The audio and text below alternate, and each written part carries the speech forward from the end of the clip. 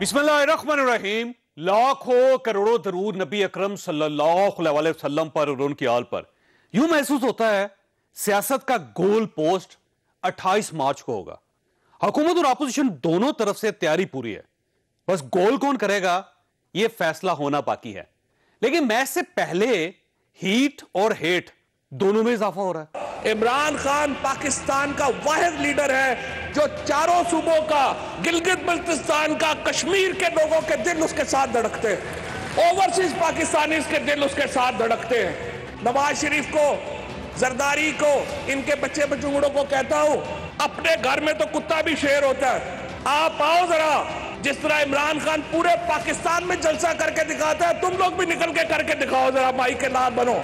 क्या ज़रूरी है कि वोट ऑफ़ नो कॉन्फिडेंस हो रहा है? वो एक दिन पहले आके हरासमेंट शहर में फैलाए और मेंबरों को रोकने की कोशिश की जाए।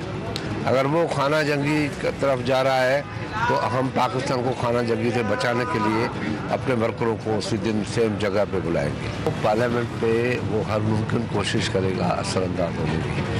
मगर मुल्क में आइन और कानून तो है ना? कानून की जो आइन की खिलाफ वर्जी करेगा चाहे स्पीकर हो चाहे खुर्शी शाह हो वो आर्टिकल सिक्स में आता है। उसको भुगतना भी पड़ेगा। आपकी बदमाशी आपके ये दावे आपके ये धमकियाँ ये आपको महँगी पड़ेगी। जिस माई के लाल में हिम्मत है वो असम्बली जाने से रोक के दिखा दी। ये मेरा ओपन चैलेंज है इमरान खान को और इसके इन को। तेईस मार्च को पीडीएम ने जिस लॉन्ग मार्च का ऐलान किया था बाबा तौर पर मुल्क भर के आवाम को। कहना चाहता हूँ कि 23 मार्च को पूरे मुल्क के कोने कोने से आप इस्लामाबाद की तरफ़ रवाना हो जाएँ। ये शाहराह दस्तूर पर, पार्लियामेंट हाउस के दरवाजे से लेकर शाहराह दस्तूर पर तारीख का अजीम शान मुजाहरा होगा। माजी में हमेशा अपोजिशन जलसे करती थी। धरने भी यही देती थी और धमकियाँ भी सिर्फ़ इसी तरफ़ से आती थी। लेकिन ये हुकूमत मुल्क की पहली हुकूमत है जो धमकियाँ भी दे रही है ऑपोजिशन के खिलाफ जलसे भी कर रही है और धरने भी प्लान कर रही है। सवाल यह है, ये सूरत अगर इसी तरह जारी रही तो इसका एंड क्या होगा? उस एंड का इशारा बहरहाल आज शेख रशीद ने भी दे दिया। लोग महँगाई और बेरोजगारी को भूलकर इन चोरों के पीछे पड़ गए हैं और ये पाँच छह खानदान जिनकी औलादों की सारी जायदादें मुल्क से बाहर है, ये याद रखना घेरे में आ जाएँगे। अगर कोई तसादम हुआ तो ये सारी उम्र मेरी बात याद रखें। तसादम को अवॉइड करें। अनारकी मुल्क में मत फैलाएँ। और अभी तो एक साल की बात है फिर आपको दस साल इंतज़ार में गुजारने पड़ेंगे और चुप करके ठुस करके आप बैठ जाएँगे। और आज वज़ीर अजम ने एक बार फिर पूरी उम्मीद होने का मुजाहरा किया। लोग इन तीन चेहरों की करप्शन भूल चुके हैं। ये गलत फहमी में पड़ गए। और ये कप्तान के ट्रैप में आ गए अब इंशाल्लाह आप देखेंगे ये क्या होता है इनके साथ? मैं ये पेशन ही करता हूँ कि ये सिर्फ़ अजम एतमाद इनकी फेल नहीं होगी। इनकी 2023 की इलेक्शन भी गई। फजल रहमान की पार्टी समझती है कि पीपल्स पार्टी और नून लीग चोर है। नून लीग समझती है, जरदारी चोर है, फजल रहमान डीजल है। पीपल्स पार्टी नवाज़ शरीफ को चोर समझती है और इसको डीजल। अब ये जब तीनों इकट्ठे हुए हैं तो मैं इनका शुक्रिया इसलिए अदा करना चाहता हूँ कि सारी कौम ने देखा है कि अगर इन्होंने मुल्क को बचाना है तो बेहतर है कि इमरान खान के साथ डूब जाओ। क्या कौन वाकई इमरान खान के साथ डूबना पसंद करेगी? और क्या हुकूमत के खिलाफ तहरीक एक इंटरनेशनल एजेंडा है? ये हमारा आज का इशू होगा। हमारे साथ रहिएगा। प्रोग्राम में दोबारा खुश आमदी हमारे साथ तशरीफ़ रखते हैं अली नवाज़ अवान साहब वजी अजम के मामले खसूसी, और ये वही शख्सियत है जिन्होंने इस्लामाबाद में दस लाख लोग जमा करने हैं, क्योंकि इन्होंने ऐलान किया था। इशाद भट्टी साहब हमारे साथ तशरीफ़ रखते हैं। हमारे दोस्त है, सीनियर सहाफ़ी हैं, और चौधरी मंजूर अहमद साहब तशरीफ़ रखते हैं। पाकिस्तान पीपल्स पार्टी के साथ इनका ताल्लुक है। अली नवाज़ अवान साहब, ये फरमाइए, सर, ये जो लड़ाई की तरफ़ जा रहे हैं आप ऐसा लगता है कि कोई मैच होने लगा है अट्ठाईस तारीख को और उसकी तैयारी के लिए आप सताईस तारीख को अपनी टीम लेकर आ जाएँगे। और दूसरी तरफ़ से जो मौलाना फजल रहमान साहब का कहना है, जो नूर लीग का कहना है, जो पाकिस्तान पीपल्स पार्टी का कहना है, ये आप डी चौक को क्या बनाना चाहते हैं? सर, ये देखिए, फिर हमने कोई डी चौक में कोई पहला जलसा तो करने नहीं जा रहे। सेकेंडली पूरे साढ़े तीन साल हो गए हैं, पूरी सारी इन पार्टियों ने पाकिस्तान के हर हिस्से में जलसा किया। हमने तो कुछ नहीं कहा। हमने तो सिर्फ़ ये कहा है कि हम 27 तारीख को डी चौक के ऊपर 10 लाख लोगों का जलसा करेंगे। इससे ज़्यादा क्या बात है?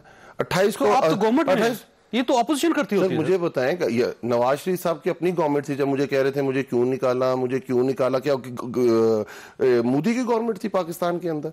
किसकी गवर्नमेंट थी? तो आप भी ये बताना चाह रहे हैं हमें क्यों निकाल रहे हैं हमें क्यों निकाल? रहे हैं? तो नहीं आप भी ये चाह रहे हैं आप बता रहे हैं तो हमें क्यों निकाल रहे रहे हैं हमें क्यों निकाल अगर मुझे अगर मुझे निकाल नहीं, पट्टी साहब ने तो, तो कह रहे हैं तो कह रहे हैं आओ ना काट के तो बखाओ असी तो कह रहे हैं। किसको? हम तो सबको सर ये पीडीएम को और किसको कहना है हमने? कोई और भी है जब तो? ठीक नहीं मैं तो यही बात करने की कोशिश कर रहा हूँ कि आए आपने साढ़े तीन साल कोशिश करके देख ली सेनेट के अदम सेनेट के अंदर अदम एतमाद करके देख ली। आपने कहा जॉइंट रेजोल्यूशन पास नहीं होगी। आपने कहा तैतीस बिल पास नहीं होंगे। आपने जो करना था करके दिखा दिया। अभी पीपल्स पार्टी पूरा एक लॉन्ग मार्च लेके आई है सिंध से लेके यहाँ तक। अभी हमने निकाला है सिंध के अंदर कराची तक खत्म। ठीक है। अच्छा ये दोनों अब- पार्टियाँ एक सामने अब सवाल हैं। ये है कि जो फवाद चौधरी साहब ये कह रहे हैं कि जो शख्स अदम एतमाद के लिए वोट देने जाएगा वो इसी जलसे से होकर जाएगा और जो वहाँ से वापस आएगा वो भी सर, हमारा जाएगा। आप अपने अरकान को कह रहे हैं सर या अपोजिशन को कह रहे हैं? अपोजिशन को तो आप रोक ही नहीं सकते। सिंपल है बिल्कुल ठीक बात है। ये क्यों अपने ऊपर ले रहे हैं? आप तो अपने अरकान को ही कह रहे हैं सर। हम तो आपके अरकान से भेजेंगे सर। हम तो ये कह रहे हैं बड़े आराम से। आपके अरकान आपके अरकान है। सर सिंपल सी वो तो क्यों जाएँगे सर दूसरे लोगों को वोट देने के लिए? कभी भी नहीं जाएँगे। हाँ, तो कभी भी नहीं जाएँगे। तो ड्रा क्यों तो जो डराने की क्या बात है? अब ये कह रहे हैं आपने अगर जाना है तो यहाँ से गुजर के जाना क्या गलत बात है? वो कह रहे हैं हम जा ही नहीं रहे। बात ही खत्म हो गई। तो फवेला किस चीज़ का है? अब देखिए चौधरी शुजात साहब ने आज मशवरा दिया है कि आप भी जलसा मनसूख करें और अपोजिशन भी जलसा मनसूख करें क्योंकि ये हालात खतरनाक मुझे चौधरी साहब तो सीनियर हो गए हैं। काफ लीग जब परवेज मुशर्रफ के साथ थी हम चीफ जस्टिस मूवमेंट दिखा रहे थे चला रहे थे। तो याद है मुशरफ साहब ने डी चौक पे खड़े होकर मुक्के दिखाए थे वो आगे पार्टी कौन सी खड़ी थी? अच्छा जिन लोगों की मुझे बात मौजूदगी में उन्होंने दिखाए तो वो आज आपके साथ बैठे हुए ये नहीं कह रहा। वहाँ काफ लीग खड़ी थी सही है। आप आप, आप उनकी बात को दुरुस्त समझे। काफ लीग खड़ी थी और उस वक्त मुशरफ की गवर्नमेंट थी। तो ये बात क्या है भाई? उस वक्त हमारे दूसरी तरफ़ सारे वकील खड़े थे सारी पार्टीज़ खड़ी थी तो क्या वहाँ लड़ाई हो गई थी? ठीक है। वहाँ कोई मसला हो गया था? जमहूरी लोग हैं वो अपना तो जलसा तो करें, साहब की मशवरा नहीं आपको सिर्फ़ कराची वो उनकी हम वो उनसे पूछे। साहब वो उनसे पूछे। साहब कराची में बैतालीस लोग मरे थे कोई लड़ाई हुई थी? क्या हुआ और? उसमें और उस पीपल्स पे पार्टी के अपने लोग उस पे मैं उन्होंने कहा था ना कर कि ये होती है आवाम मैंने ये कहा कहना मुक्के दिखाए थे। और मुझे भी बता- ख्याल है ये ताकत- मंजूर साहब को कहें चौधरी साहब को बता दें? आजकल मुलाकातें हो। रही हैं। तो उन्हें बता दें। तो आप बताएँ आपके ये इत्तेहादी हैं वो। तो ये देखो सर इस वक्त तक भी आपके इत्तेहादी हैं। आप बताएँ उनको। तो इत्तेहादी हैं। हम तो उन्हें कह रहे हैं तो कि आपका आप जो मशवरा है, दें हम तो ये कह रहे हैं ये मशवरा क्योंकि आपसे हमारी बाकी पार्टीज़ भी मिल रही हैं पीडीएम। उनको समझाएँ वो कहीं और जलसा कर लें। इस्लामाबाद में बहुत बड़ी जगह है। हम इनको दे देते हैं जहाँ ये कहते हैं कोई वॉकिंग ट्रैक शॉकिंग ट्रैक तो आप वहाँ वहाँ पे कर लेना, सर। आप वहाँ पे क्यों हम अनाउंस कर चुके हुए हैं सर हमने अभी तो नहीं किया। वो उन्होंने तेईस मार्च का वो कहीं से कई कई अरसे पहले दो महीने पहले किया। सताइस मार्च का लॉन्ग सताइस मार्च का वो आपने तो नहीं किया था सर। वो तो पीडीएम जो थोड़ी तुझे हुने अपने आप में भी पा रहे हो। तो आपने सताइस मार्च को सताइस मार्च को लॉन्ग मार्च का ऐलान किया था। आपने कौन से जलसे का ऐलान किया था? साहब, साहब, साहब, साहब तो बड़ा गलत किया इसीलिए तो हम सत्रह फरवरी को निकल रहे हैं। इन्होंने कहा था पीपल्स पार्टी ने कहा था। इसीलिए तो आए। अच्छा चौधरी साहब वैसे ये जो हीट और हेट बढ़ रही है इसका अल्टीमेटली क्या नतीजा निकलेगा शुक्रिया सर सब पहली तो बात यह है कि ये कर कौन रहा है? ये हीट कौन बढ़ा रहा है? हमेशा अपोजिशन बढ़ाती है। इसका मतलब ये है कि अभी अली नवाज़ अवान साहब के फरमा रहे थे कि इन्होंने तो फिर अभी से मान लिया ना अपने आप को। गवर्नमेंट में ना होने का एक सबूत ये भी है। दूसरी बात यह है कि देखें हुकूमतें हमेशा हौसले से तदब्बर से काम लेती हैं। ये पहली हुकूमत देखी जो कहती है आओ हमारे साथ लड़ो। अब अगर ये कह रहे हैं कॉन्फिडेंस है सर। नहीं एतमाद। कॉन्फिडेंस ही तो नहीं है। आज आपने वज़ीर साहब की तकरीर सुनी? वो कॉन्फिडेंस ही तो नहीं है। वो एक पूरे स्टेट्समैन एक बड़ा मज़बूत स्टेट्समैन उसकी तरह उनकी चलो उस पर बाद में आ जाते हैं। लेकिन देखें ना ये इनकी घबराहट इनका अपने लोगों पे अदम एतमाद इनका इतिहादियों पे अदम एतमाद ये सारा कुछ शो कर रहा है। एक बात दूसरी बात ये देखिए इन्होंने जो करना था इस मुल्क में वो कर लिया। मैं मैं तो हमेशा ये कहता हूँ कि पहले दो साल ही होते हैं जिस हुकूमतों ने जो कुछ करना होता है। उसके बाद तो वो फायर फाइटिंग करती रहती है। कभी इधर से आग लगी उधर बजाई उधर बजाई। इन्होंने वो दो साल जाया किए हैं। ठीक है। अब ये कह रहे हैं कि हम ये भी करना चाहते हैं वो भी करना चाहते हैं। अब आपसे कुछ नहीं होने वाला। अब आपके साथ होने वाला है। अब आपने जो करना था जिन लोगों को जेलों में डालना था वो डाल लिया अब आपकी बारी है। अच्छा वैसे ये पॉलिटिक्स में बारी तो होती है ना वाकई गवर्नमेंट जा रही है सर। आप आपको लग रहा है जो ये गुफ्तगु फरमा रहे हैं उससे कि गवर्नमेंट नहीं जा रही। अच्छा वैसे अजीब बात कोई है। शक है? अच्छा आपने इनके अरकान तोड़े हैं आपने इतिहादियों को अपने साथ शामिल किया है। आप किस बेस पे ये कह रहे हैं कि जा रहे हैं? मेरे ख्याल अदम एतमाद की भी शायद ज़रूरत ना रहे इतिहादी कह देंगे रिजाइन कर देंगे जिस दिन रिजाइन कर देंगे अच्छा वैसे अजीब सी बात है कि आपका ख्याल ये है कि इनके लोग आपके साथ मिल गए हैं ये इत्तेहादी आपके साथ मिल गए हैं लेकिन आप पहली पार्टी हैं पाकिस्तान में आज के दो आज के वक्त में कि आपने अपने अरकान को खत लिखा है कि आपने हर सूरत हमारे साथ जाके वोट देना है और अगर कोई शख्स ना गया आप में से अरकान ना गया तो उसके खिलाफ कार्रवाई की जाएगी। तो कॉन्फिडेंस तो आप में होना चाहिए था लेकिन ये जो आपने खत लिखा है अजीब सा लगता है वैसे। नहीं नहीं देखे ना ये एक लीगल एक तरीकेकार है इन्हें भी लिखना चाहिए अपने मेंबरान को। हमने इनको रास्ता दिखाया है कि एक्चुअल रास्ता क्या है। एक्चुअल रास्ता ये नहीं है कि कि आप आपके नहीं हमें कोई खतरा नहीं लेकिन हम इनको कह रहे हैं कि एक्चुअल रास्ता ये नहीं है जो आप कह रहे हैं कि हम मारेंगे दस लाख बंदे से गुजर कर जाना पड़ेगा दस लाख बंदे से वापस आना पड़ेगा। जो लोग आपके साथ नहीं रहना चाहते वो सोच समझ के जाएँगे ना। हम्म। उन्हें पता है कि हमें डिफेक्शन का सामना करना पड़ेगा। उन्हें पता है कि अगले इलेक्शन में हमने आपके लोगों को पता नहीं है कि डिफेक्शन हो जाएगी।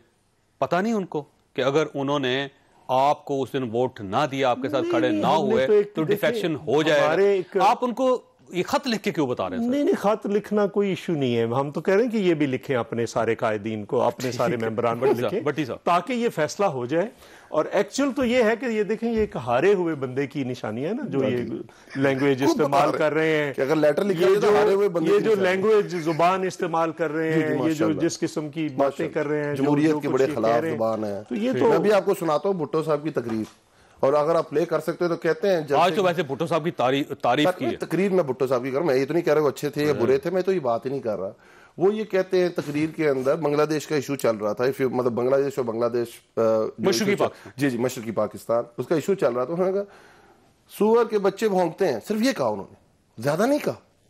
पर तहजीब था जमहूरियत आज आज मुझे बड़ा मंजूर अच्छा भाई की बातें सुन के बड़ा अच्छा लगा। वज़ीर साहब ने तारीफ़ की कि वो है। दलेर आदमी थे। जमहूरियत जमहूरी रवायत उनके खिलाफ लाइन के खिलाफ ये भुट्टो साहब ने तो- कहा है। जावेद भाई आप तो हिस्ट्री के स्टूडेंट है भुट्टो साहब मैंने नहीं कहा भाई।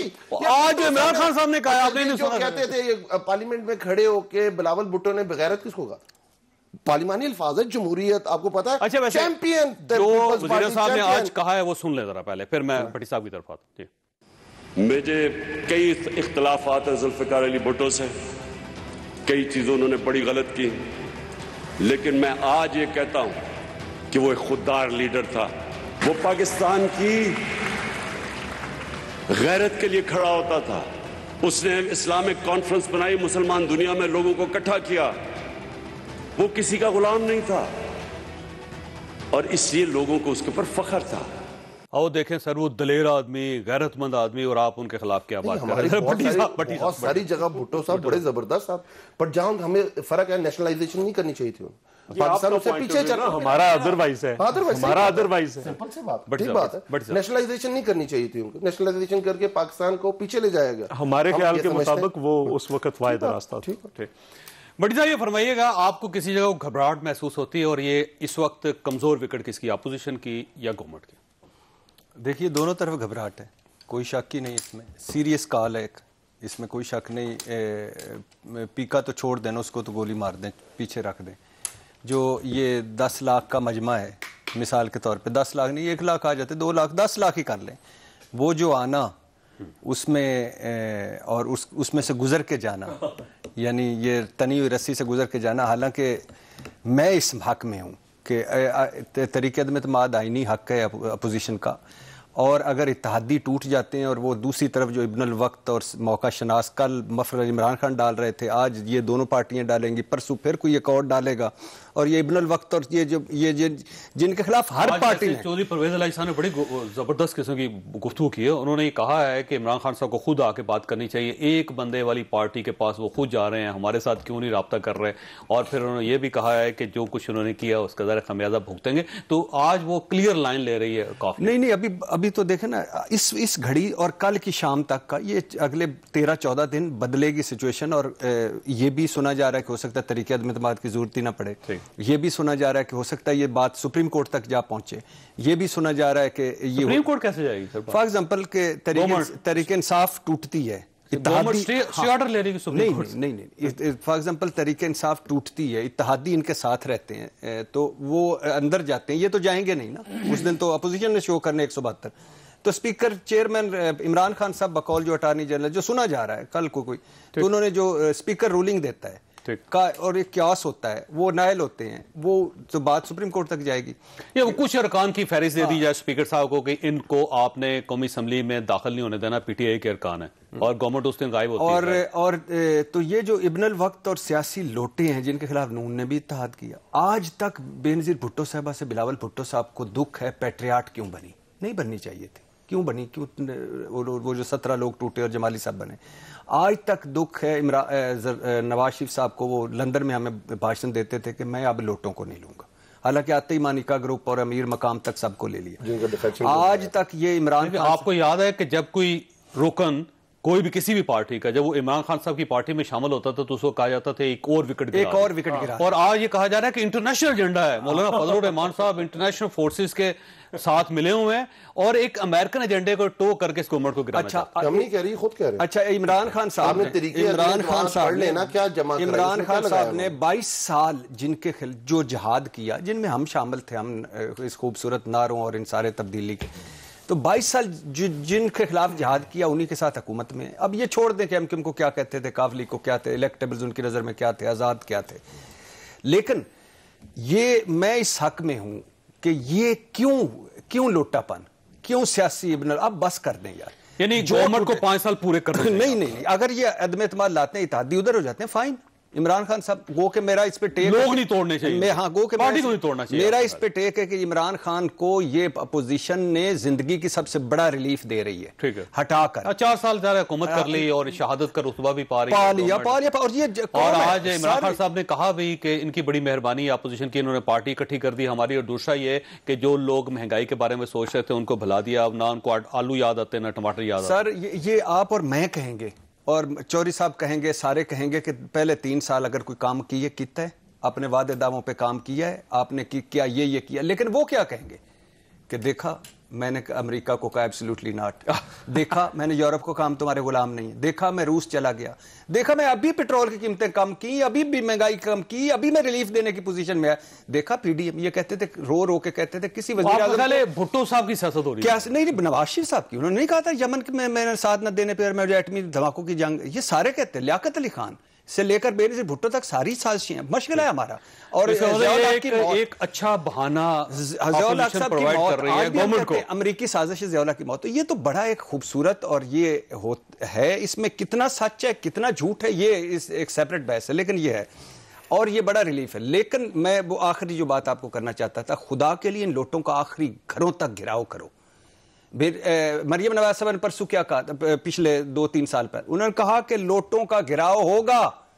मेरा तर, मैंने एक जगह कह दिया लोटों का घिराव होगा। मेरा तर्जमान मोहम्मद जुबैर इधर उधर की बातें कर रहा सफाइयाँ दे रहा मैं उनको बताना चाहती हूँ कि इनका घिराव करना चाहिए। इनके घर तक जाना चाहिए इनका घिराव करना चाहिए। तो करें अब तो लोटे वापस अपने घर जा रहे हैं। सर ये ये कल फिर ये लोटे एक और घर चले जाएँगे। नहीं नहीं नहीं ये नहीं ये नहीं करे। इनका कोई घर नहीं है। इकतदार घर है इनका। मफादात घर है इनका। ये सियासी इबन वक्त है। इनकी वजह से गंदा कर दिया इस सियासत को इन्होंने। अब रोकें। सारे मिलकर उस दिन करें कि कोई ना जाए। हाँ इतादी टूटते हैं फाइन उधर चले जाते इधर चले पर जाते चौधरी साहब ये जो आपने रिलीफ दिया है गवर्नमेंट को इस जगह इस मौके पे कि चार साल वो पूरे कर चुके हैं एक साल आप और इंतज़ार कर लेते अब जो गवर्नमेंट शहीद होगी और जब वो अ, सड़कों पे उतरेगी जब चौकों में इमरान खान साहब तकरीरें करेंगे और उनका ये जो अट्ठाईस सताईस मार्च का जो जलसा है वो पहला जलसा होगा जिसमें वो पूछेंगे कि मुझे क्यों निकाला जा रहा है तो ये तो आपने पार्टी खड़ी कर दी उनकी। जो ये सब ऐसे नहीं होता सियासत में। कोई पार्टियाँ होती हैं जो वन टाइम पार्टियाँ होती हैं। मसलन कन्वेंशन लीग शहीद हुई तो उसके बाद कभी नज़र नहीं आई। जुनेजो लीग शहीद हुई तो उसके बाद कभी नज़र नहीं आई। काफ लीग शहीद हुई तो आज आपके सामने है मंजर। ये भी इसी तरह से जोड़ी हुई पार्टी है। तो ये भी उसी तरह से इसका अंजाम भी उससे कोई मुख्तलिफ़ नहीं होगा तो आप समझ। रहे हैं कि दूसरी ये- बात ये है ये किंग्स पार्टी है। दूसरी बात यह है कि ये जो बार बार बात कर रहे हैं कि बड़ा आर्गूमेंट आ गया है इमरान खान के पास कि उसने कहा कि इंटरनेशनल एस्टेब्लिशमेंट जो है वो मुझे हटाना चाहती है अमेरिका को एब्सोल्युटली नॉट कहा फलां को कहा वो तो देखिए ना पॉलिसी क्या है इनको ट्रंप ने डिसीव किया वहाँ पे और ये यहाँ पे आकर कहने लगे कि मैं मुझे तो लगता है मैं वर्ल्ड कप जीत के आया हूँ और उधर उस उन्होंने कश्मीर पे कब्जा करवा दिया। तारीफ़ बहुत की थी इमरान। बात सो- इसी इनको इनकी तारीफ़ कर रहा था डिसीव ऐसे ही करते हैं ना जो मोदी से गले मिल रहा में। तो पोस्चर और था बात कुछ और कह रहे थे ये उसको अंडरस्टैंड नहीं कर सके। तो नतीजा क्या निकला? कश्मीर पे कब्जा करवा दिया। इंडिया को कहा कि ठीक है इसको मैं इधर से लालच लगा। आपने क्या कोई देखे ना भुट्टो साहब ने एटमी प्रोग्राम किया। शुरू किया। भुट्टो साहब ने इस्लामिक ब्लॉक को मुतहद किया और उनका बहुत मौसर देखिए आज इमरान खान ने कहा है कि वो गैरतमंद लीडर बात सुन लेना अच्छा नॉन अलाइन जो जो कंट्रीज़ थे उनको इकट्ठा किया। उन्होंने चाइना की विंडो खोली दुनिया के लिए। इन्होंने कौन सा कौ- कौन सा अमेरिका के लिए किसी के लिए क्या इमरान खान साहब के दौर में अगर एक पंद्रह साल बाद वजरा खारजा की मीटिंग पाकिस्तान में हो रही है। देखिए अचीवमेंट तो है। नहीं नहीं एक काम और रशिया गए वो सर उस वक्त जब यूक्रेन के साथ जंग हो रही थी। मेरी गुजारिश सुन लेना। आप 180 दर्जे का जाविया तब्दील करते फिर रहे हैं। कभी उधर बंगड़े डाल रहे थे अब अब उधर जंग वाले दिन उधर पहुँच गए। अब देखिए मैं आपको एक गुजारिश करूँ। मसला ये है कि आप इस किस्म के खाली नारों से जिनके नीचे कोई बेस ना हो उसको उस पर खड़ा नहीं हो है। तो आप, आपका ख्याल ये कि ये शहीद नहीं हो रहे ये बस फारग हो रहे हैं। मैं एक छोटी सी ब्रेक लेनी है। ब्रेक के बाद सर आपकी तरफ़ आऊँगा कि अगर इतिहादी आपका साथ छोड़ देते हैं तो आप कहाँ रहेंगे? छोटी सी ब्रेक और ब्रेक के बाद दोबारा ज़रूरत।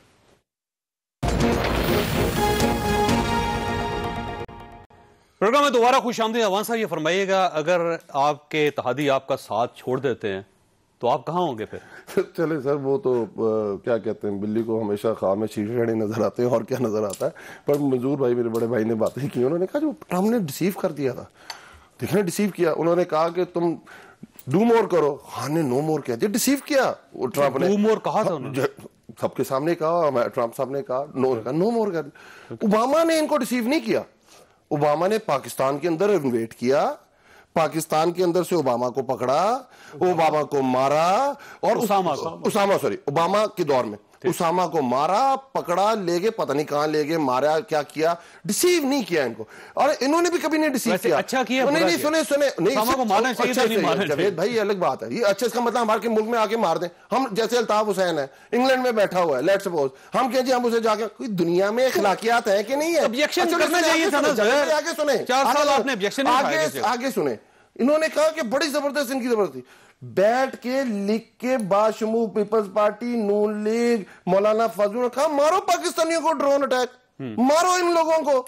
क्यों नहीं करते ड्रोन अटैक पाकिस्तान के अंदर? हम ऊपर से तनकीद करेंगे। जरदारी साहब के दौर की बात कर रहा हूँ। जरदारी साहब के दौर की ये। ड्रोन मुशर्रफ साहब के दौर में शुरू हुए सौ साढ़े चार सौ ड्रोन अटैक हुआ है पीपल्स पार्टी के दौर में अच्छा, तो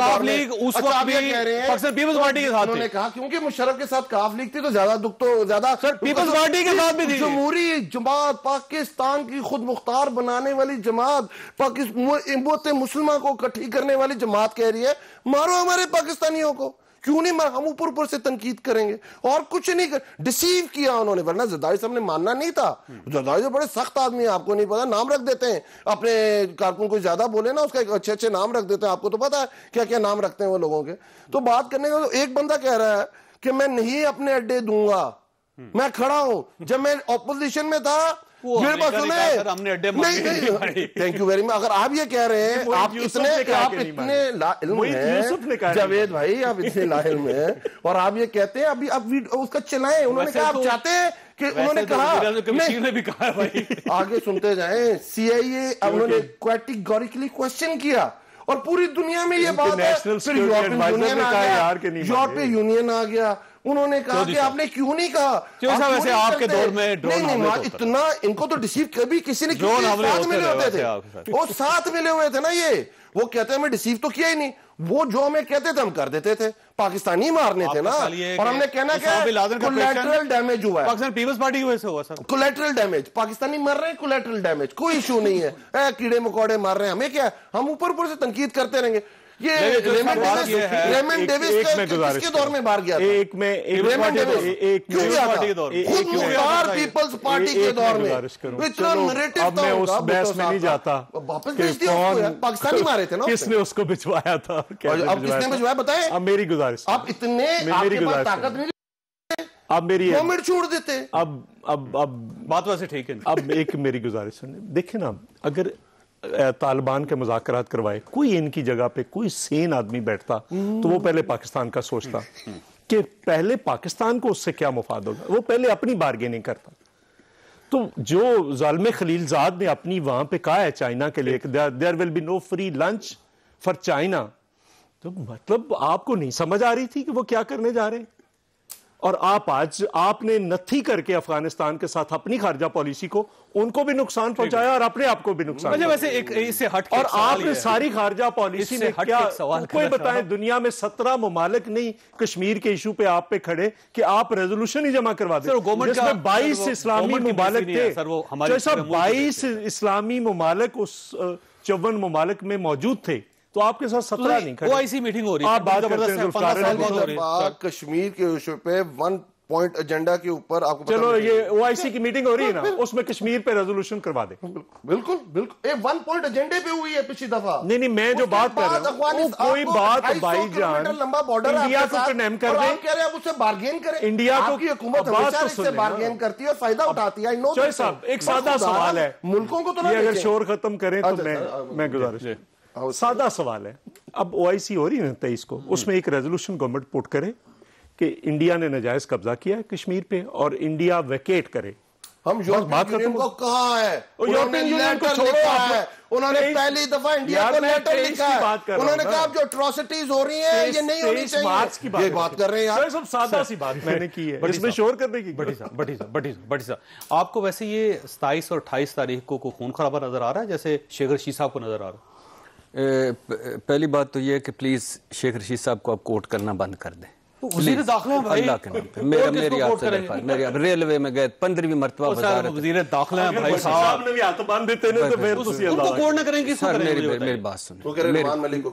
मेरी बात तो सुने ना सर मेरी बात तो तो- मेरी बात तो सुने नहीं रहे दुनिया सर ये मुझे तो पता नहीं किस मिशन पे लगते हैं शेख रशीद साहब कि उस वक्त जब लोग इमरान खान को एक एक बंदे की ज़रूरत है वो कभी जाके चौधरीों के गले लग जाते हैं कभी जाके एम के गले लग जाते हैं कभी जाके इलेक्टेबल्स पे चढ़ाई कर देते हैं कभी किसी के उब अल्लाह ने तुझे पंद्रहवीं मरतबा वज़ीर बना यानी जो बंदा पंद्रहवीं दफ़ा वज़ीर बने उसका एजेंडा उसका क्या है? रेलवे तबाह चार अच्छा, आज वैसे उन्होंने कहा कि अगर ये हालात ठीक ना हुए दोनों ने अपने अपने हॉर्सेस को होल्ड ना किया तो दमादम मस्त कलंदर हो जाएगी। दमादम मस्त कलंदर क्या सर ये दमादम मस्त कलंदर उस वक्त कब था जब मौलाना धरना लेके बैठे तो गायब हो गए थे पसीने। इमरान खान ने खुद कहा कि मेरे वज़ीर घबराए हुए थे मैंने कहा हिम्मत ना हारना। अच्छा जब तरीके लबैक वाले आए तो किधर गया दमादम मस्त कलंदर? चार बंदे हरकतुल इंस- इंसार के वो इनकी नायली और नलायकी वो उधर फेडरल लॉजेस पहुँचे हुए थे। उधर कहाँ गया दमादम मस्त कलंदर? इसकी बातों को प्लीज़ सीरियस ना लें। इन्होंने भी उसको चपरासी तक नहीं रखना था। ये तो वैसे इमरान खान को जिस नवाज़ शरीफ पे रहम आ गया फिर नहीं रहम आ गया रख उनका इमरान खान साहब ने जो कहा था ना मैं इनको चपरासी नहीं रखूँगा उन्होंने चपरासी नहीं रखा। नहीं रखा। बात और- ये दुरुस्त है उनकी अच्छा वैसे ये कोई गवर्नमेंट के खिलाफ कोई इंटरनेशनल एजेंडा है जो बार बार अली अवान साहब भी कह रहे हैं। अच्छा। और वज़ीर साहब भी कह रहे हैं। पूरी गवर्नमेंट ये कह रही है अब तो बल्कि बैनर्स लगने शुरू हो गए। सर ये तो ये तो मिजाइया फ़िल्में है ना इसको तो साइड पे रखे। सारी दुनिया साढ़े ते ही चक फोकस करके बैठी है। बाई करोड़ माफ़ी चाहना गुर्बत कर्जियाँ जकड़े है ना नालायक नाला साढ़े ते पूरी अमेरिका जो बाइडन काम ही कोई नहीं। सवेरे कैमरे ला के बंदा बुजदार बुजदार किथे गया है। सऊदी अरब जरदारी साहब का पीछा कर बिलावल का मार्च कितने पहुँचा यूरोप वाले जड़े ने एम क्यू एम और काफ लीग अज उन्हें की किया? यार खुदा का खौफ करो असी वो कितने पहुँच गए? चंद से पहुँच गए। असी अजर तक उत्थे हर चीज़ चू आलमी साजिश। मैं अज घर देर न पहुंचागा मैं कह आलमी साजिश हो गई वरना मैं रस्ता बलॉक कर जो इंपॉर्टेंट सवाल आपका था वो ये था कि क्या तसादम अल्लाह करे मैं झूठा साबित हूँ अल्लाह करे अल्लाह करे ये ना हो। हाँ, लेकिन गवर्नमेंट को सूट करता है। बहुत खराब चीज़, चीज़ें हो, होने जा रही हैं। क्योंकि मौलाना फजल रहमान साहब ने अपने कारकुनों को कह दिया। सर म- अच्छा फिर एक तो एक और सवाल तो कर पहले वाकई सर। मौलाना साहब मुझे मुझे एक सवाल कारकुन जो है ना, सिंपल सा मौलाना साहब के सवाल का जवाब दो मुझसे सीनियर बड़े बैठे आप भी एक सीनियर मुझे सवाल का जवाब दे। दो, 2013 के इलेक्शन होते हैं। मैं तो आज सोचते ही फिर रहा हूँ मैं, मैं कि ये क्या हो गया? मैंने नहीं सुना था पहले। 2013 के इलेक्शन होते हैं। मौलाना कहते हैं कि ये धांधली नहीं उससे बड़ा काम हुआ है। पैकेज धांधला है, धांधला। पैकेज बांटे गए हैं। किसको कहीं किसको कहीं किसको कहीं। उन्होंने आ, आ, साफी साहब ने पूछा कि अच्छा फिर आगे इसके बाद कोई करे? उन्होंने कहा मैं आवाम को और इम, उनको इम्तिहान में नहीं डालना चाहता ना खुद को। बाहर नहीं निकलूँगा। सुप्रीम अदालत भी नहीं जाऊँगा। अब मौलाना साहब ने कभी ज़िंदगी भर नवाज़ शरीफ साहब को सिलेक्टेड कहा है? क्योंकि वो उनके ख्याल में तो पूरे पाकिस्तान के इलेक्शन फेयर नहीं हुए। क्यों? इसलिए कि वजारत मिल गई थी कश्मीर कमेटी की चेयरमैनशिप मिल गई थी इसमें इसलिए कि इकतदार में हिस्सा मिल गया था। मौलाना साहब इरेलीवेंट अब हुए। अब क्यों पूरे कौम को उन्होंने वक्त में डाला हुआ है? इसलिए कि इरेलीवेंट इकतदार नहीं है। पहली मरतबा। अच्छा, मुझे ब्रेक तो, तो पहले ये तसादम वाली है दुआ करें कि हम किसी तसादम का मुतहमल नहीं हो सकते। है, हाँ हाँ हाँ? हाँ हाँ हाँ बिल्कुल और है। और जो हुकूमत की हिकमत अमली है उसमें तो उसमें तो इमरान खान आखिरी तो हद तक जा ये वही हो जाएगा जो जो ढाका गया उसकी सर सर मैं कह रहा हूँ कि अच्छा मौलाना साहब ने ये भी कहा था कि भुट्टो वो है जो नारा लगाता है इधर तुम उधर तुम। पीपल्स पार्टी वो है जिन्होंने फूंक से बलोचिस्तान गिराई। पीपल्स पार्टी तुमने खजाना नहीं उठाया तुम्हारा किरदार हम जानते हैं। आज भी कुछ खैर छोड़ो। इस मर्तबा खुदा के लिए अच्छा वैसे वक्फा लेना है चौधरी साहब लेकिन आपके पास एक सवाल छोड़ के जा रहा हूँ कि गवर्नमेंट अब भी इमरान खान साहब की है और इमरान खान साहब के पास अब भी बहुत कुछ देने के लिए है। अगर वो इस वक्त चौधरी परवेज अलाई साहब को वजी अला पंजाब बना दें और एम के एम को गवर्नरशिप दे दें सिंध की तो आपकी फिर तहरीक अदम एतमाद कहाँ होगी? छोटी ब्रेक को ब्रेक के बाद दोबारा हाजिर होते हैं।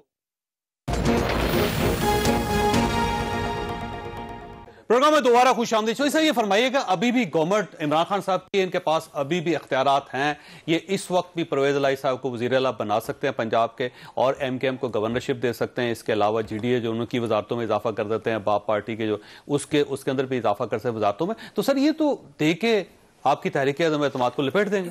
सबसे पहली तो बात है, कुछ देने के लिए हौसले की ज़रूरत होती है जो इनमें नहीं है। अगर देने का हौसला होता तो पहले ये चीज़ें इतनी ख़राब ना होती। पहले दो चीफ मिनिस्टर के कैंडिडेट बने थे दोनों गिरफ़्तार करवा दिए गए। अलीम खान भी सप्तान खान भी पता है सबको। दूसरी बात यह है कि इन्होंने जो कुछ देना था दे चुके हैं। अब इनके पास देने के लिए कुछ नहीं है। वो सारी अच्छा हौसला आप में था कि असल सारी साहब ने कातिल लीग के जमा सारी जमातों को भी पता है। कातिल लीग को देखिए डिप्टी प्राइम मिनिस्टर बना दिया हाँ हमारा भी हमारे साथ भी उनका इशू था। हमारे भी लोगों पे इल्ज़ाम थे हमारे ऊपर भी जहूरलाई साहब के मर्डर के इल्ज़ाम थे वो आसान काम नहीं था। तो जब दोनों बैठे तो उन्होंने कहा जी कि ना हमारा उधर कोई इशू है ना इधर है मोहतरमा की शहादत में हमारा कोई रोल है। देखिए हम इनको कहते हैं कि अगर ये आप सीख जाएँ ये। साहब एक मिनट मैं मैं गुजारिश करूँ। देखिए ना चार ग्रुप है इस वक्त पंजाब में केपी के अंदर ग्रुपिंग है इनकी। इनकी पार्टी जैसे बनाई थी वैसे ताश के पत्तों की तरह बिखर रही है। एक बात दूसरी बात देख देखिए आम आदमी जो है ना ये जो इन्होंने कहा कि मैं को आलू टमाटर के भाव के लिए नहीं प्राइम मिनिस्टर बना ये जो बैठे ना लोग ये जो आपके कैमरे के पीछे हैं उनका इशू आलू और टमाटर ही है। उनका इशू दो लीटर पेट्रोल है। उनका इशू बिजली का बिल है। उनका इशू वो नहीं है ये वो लोग तो नहीं है जो जाए चीज़ों को उठा उठा कर कीमतें बहाल रखी गवर्नमेंट ने। और पिछले दिनों कम गिरी कितनी है? 130 से आ गई है वापस सौ पूरी दुनिया में ना सर सौ पे वापस आई ना? अवान साहब सौ- सौ पे वापस आई ना? मंजूर भाई से ही लिखवा लें। या अगर सौ रुपए पे सौ डॉलर ब्रेंट पे जो पेट्रोल प्राइस पाकिस्तान में बनती वो लगा दें। वैसे 142 डॉलर में इनके दौर में था 147 पे वन चढ़ गया। वन फोर्टी टू अच्छा वैसे अवान साहब ये फरमाइएगा आपको महसूस होता है कि गवर्नमेंट इस वक्त प्रेशर में है? सर फिर देखें अभी बात क्या हो रही थी? हम- अब जमहूरियत और सियासत जो हमें पड़े राग लाते होते थे ना। नहीं, कोई pressure है, आप अखलाकियात सिखाते होते यार ये हमने एक लीगल रास्ता अच्छी बात है सर करें करें। अली नवाज़ देखिए हमने एक ली- अच्छा हम डेढ़ दो साल से पीडीएम से बात है ना। नहीं मैं सिर्फ़ एक चीज़ को उसको डिफेंड कर एक फिक्रा कह कर सकते बलोचिस्तान असेंबली आपने टॉपल कर दी आपके पास एक बंदा नहीं था।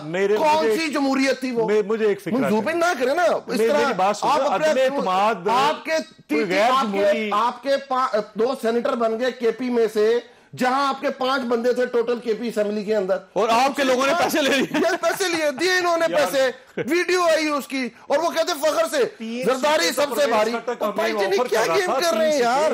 वो छोड़े आपको कोई ऑफ़र वो साहब को ला के आपके हवाले कर करके अपनी पार्टी को इंटरनल सिंध की पार्टी बना दिया है। पूरे पाकिस्तान में आपका नाम लेने वाला कोई नहीं रह गया। हम पैसे तो देके कहते हैं 1900 हम पैसे इसलिए बांट रहे हैं कि लोग ये ना कि पीपल्स पार्टी को वोट नहीं पड़ा। आपने देखे केपी में क्या असर हुआ है आपका? पंजाब के अंदर आपका क्या असर है? आप तो नॉन रेलिवेंट है पाकिस्तान की सियासत के अंदर। अब जो मर्ज़ी करें बात ये हो रही है कि आप जो जमहूरियत का राग लाते रहते हैं अभी आप बनते हैं अगर तरीके इंसाफ के तोड़ हैं तो क्या आप जमीर की आवाज़ पे तोड़ अच्छा, पैसे तोड़ रहे हैं, दे रहे हैं ना? तोड़ रहे हैं। तो और क्या इनका काम क्या है? अठारह अठारह बीस बीस करोड़ पे ऑफ़र कर रहे हैं। तो आपको 20 हमारे 20 MNS करोड़? जी जी MNS कुछ को? भी नहीं है। तो-? इससे ज़्यादा तो ये को 20 20 करोड़। जी हाँ। और कौन? Pakistan peoples party. जी हाँ और किसने लगा और कौन लगा पाकिस्तान पीपल्स पार्टी को क्या फ़ायदा होगा इसमें सर मुझे बताएँ नून लीग को क्या फ़ायदा होगा? आप कह रहे हैं नून लीग को क्या मिलेगा? लेट्स इसी तरह करते हैं ना। मसला ये नहीं है मसला ये है नून लीग नहीं दे रही, बंदे बैठे हुए स्टेज पे जो आपस में बहुत मोहब्बत और शक्कर करते रहे हैं। एक बारे में जो भट्टी साहब ने बताई है इनकी बातें वो करते रहे। अब मसला क्या है? या इनसे पूछे आप आके क्या करेंगे जो आपने पैंतीस साल में नहीं किया? अभी आलू टमाटर की बात कर रहे हैं पेट्रोल की साढ़े दस परसेंट से साढ़े चौदह परसेंट इन्फ्लेशन थी इनके दौर में। बिजली पाकिस्तान के अंदर नहीं थी। पाकिस्तान के तबाही फेर के चले गए। और ये कहते हैं कि आज करेंगे क्या? साढ़े तेरह साल में सिंध में क्या कर लिया? ग्रीन लाइन हम दे रहे हैं के फोर हम दे रहे हैं हर सर्विस हम दे रहे हैं। एक मिनट आएगा। बट साहब ये फरमाइएगा वोटिंग वोटिंग का टाइम आएगा या वोटिंग के बगैर गवर्नमेंट चली जाएगी? सर ये बड़ा इंपॉर्टेंट क्वेश्चन है। दोनों फिफ्टी फिफ्टी उसकी वजह ये है सवाल करते हैं इंपॉर्टेंस लेनी पड़ती ये बड़ा इंपॉर्टेंट अच्छा इस पे भी एतराज़ है। इस पे भी मेरे भाई को कोई चीज़ इंपॉर्टेंट नहीं होनी चाहिए। कोई है बात अच्छा। गेम आगे चली अच्छा भाई आगे चली गई अच्छा भाई मेरी मैं मैं अल्लाह करे आगे ही चली जाए हम भी आगे चले। इमरान खान ने कहा डूब डूबे डूबे ना डूबे ना हम तैरें आगे बढ़े। और दूसरी बात है कि मैं इमरान खान साहब ने ठीक कहा मैं आलू टमाटर के लिए। सारी उम्र जेब में पर्स नहीं सारी उम्र बजट नहीं बनाया। इमरान खान साहब को एक और वज़ीर अजम अली नवाज़ को बना दें डिप्टी जो हमारे आलू टमाटरों पे फोकस रखे। और ये इंटरनेशनल तकरीरें ईरान इराक ये की आलू टमाटरों सऊदी अरब- ईरान की सुलह अमेरिका ईरान ये भट्टी साहब ने एज अ सहाफी बात की कि प्राइम मिनिस्टर ने आज तक जब बटवा नहीं रखा जेब में ये किस तरह आम आदमी पाकिस्तानी यानी बजट नहीं बनाया बजट नहीं बनाया आज तक बजट नहीं बनाया बजट नहीं बनाया। बजट वो भाई स्टार रहे हैं यार स्टार को बटवे रखने की क्या देखिए ना हम उन्नीस में तो सिंध की पार्टी भी नहीं रहे थे।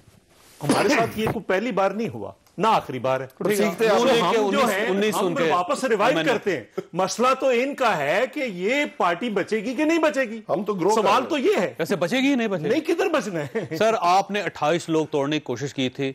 कब? इनकी इन्हीं दिनों में। ओ नहीं जी नहीं हमें- गवर्नमेंट का ख्याल ये है। हमें कि हमको बारह रह बन रहे कि हम तोड़ते बारह रह गए बाकी मामला इन्होंने सेटल कर लिए ओ सर अभी देखें छोड़े आप इस बात को कितने टूट रहे हैं। ये जब गवर्नमेंट जाएगी 16 तो लोगों को मना लिया उन्होंने। उसको बाद इनको पता ही नहीं ये ये माने वो देखा? मंजूर भाई ये माने है, इनको नहीं पता हमें पता और कमाल इनका। आप भी मालूम कर रहे हैं देखें। साहब उस दिन पता नहीं किसने लिखा था एक फिकरा हाँ। सलीम साफी साहब ने उन्होंने कहा नाराज़ आदमी को नाराज़ लोगों को मनाने भेज दिया है परवेश खट्टर को ये तो इनकी हालत अच्छा लेकिन सबसे बड़ी बात यह है कि जिसने हमें एक करोड़ नौकरियाँ देनी थी उसकी नौकरी के पीछे सारे पड़े हुए हैं। ये जुल्म। हाँ ये ब, ब, ये जुल्म है इस पे आप मैं आपके प्रोग्राम में अली भाई के होते हुए इतजाज करता हूँ। बस अब आपने गुफ्तगू सुनी फैसला आप खुद कर लीजिएगा। अल्लाह ताला आप और आपके अहल खाना को हर किसी मुसीबत से महफूज रखे। अल्लाह हाफिज।